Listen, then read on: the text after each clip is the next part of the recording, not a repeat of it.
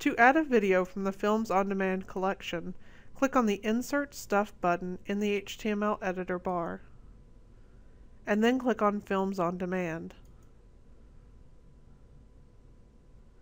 You can search by segments, by titles, or by transcripts. Enter your search keywords into the keyword field. and then click on the search icon to the right hand side. You can view the video selections by segment, titles, or transcripts.